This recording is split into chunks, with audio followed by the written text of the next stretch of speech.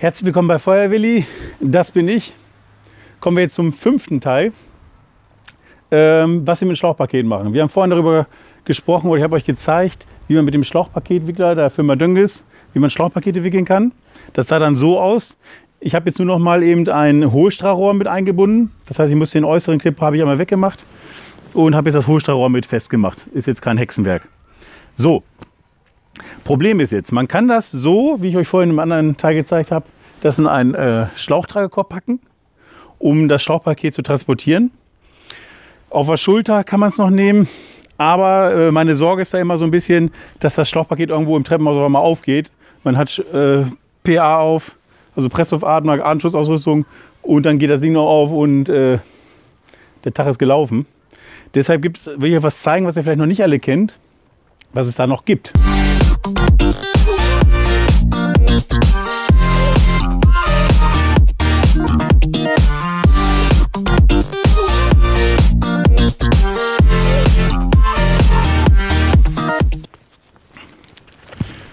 Die Firma, die sich um uns sorgt, hat so ein Tragesystem, so ein Gurtsystem.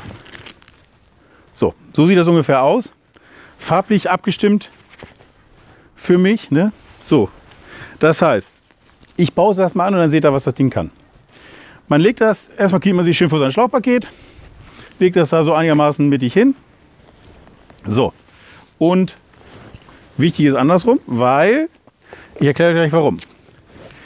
Diese Gurte springen nicht von alleine auf, wenn der Druck drauf kommt, weil die werden hier einmal durch diese Schlaufe gezogen, durch diese Öse und dann wieder zurück und festgeklettet. Wenn jetzt hier Wasserdruck drauf kommt, die sind noch drum, die springen nicht auf, okay? Das klappt nicht.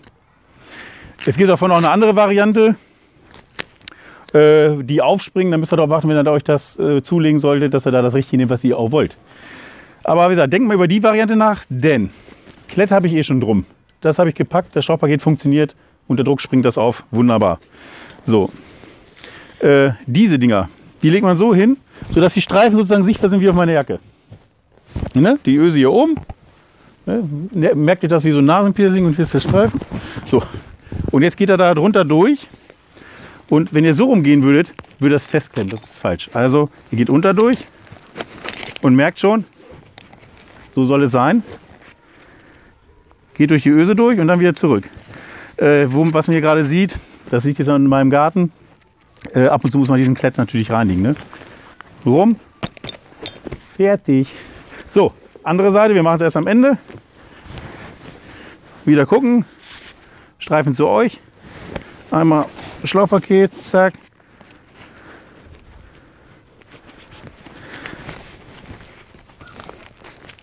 Und zu. So. Bei dem versuche ich vielleicht noch mal ein bisschen das äh, äh, Hohlstrahlrohr mit einzubinden.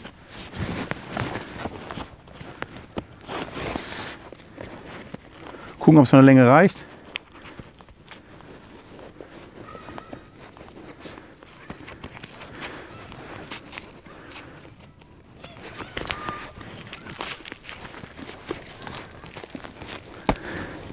Muss reichen. So, und einer noch.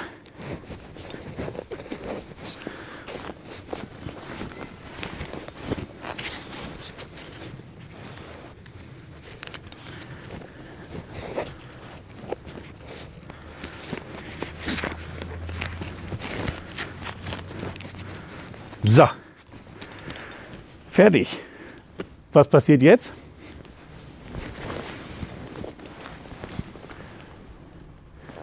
Die sogenannte Herrenhandtasche für unterwegs. Schlauchpaket gesichert. Ich kann jetzt in den Innenangriff gehen. Ich nehme das Ding mit. Vielen Dank fürs Reinschalten. Kommentiert gern, fragt gern. Gebt mir ein Zeichen, dass ihr es mögt. Wenn nicht, lieber gar nichts machen. Und äh, nein, das gibt es auch, nur dass ihr das wisst, für den Innenangriff. Wie gesagt, unterschätzt auch nicht, was es für Schwierigkeiten geben kann, wenn man das falsch transportiert, über die Pullen rüberhängt und so. Da gibt es äh, gab schon Diskussionen, ob das zugelassen ist und so weiter. Eine Variante, um den ganzen aus dem Weg zu gehen. Okay? Alles klar. Vielen Dank für die Aufmerksamkeit und bis zum nächsten Mal. Ich gehe jetzt in den Innenangriff. Bis dann. Tschüss.